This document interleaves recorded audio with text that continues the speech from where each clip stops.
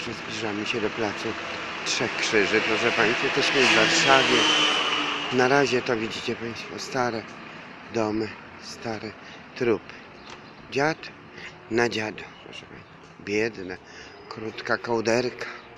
Nie starczy. Ciągle źle. Ciągle na dorobku stare domy. Państwo zobaczą, jakie to jest wysokie domiszcze. Państwo zobaczą. Ale jakie to stare. Na górze widać cegły, prawda? Cegły, które by się to, gdyby tak rozsypało, to szybko gdzieś pobiegły. Państwo zobaczą, jaki dom. Mhm. Jakie ciekawe.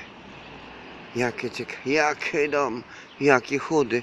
A to jest Instytut Głuchoniemych na placu Trzech Krzyży, jak powiedziałem. Warszawa lubi trzy. Dziad na dziadu. Gad na gadu.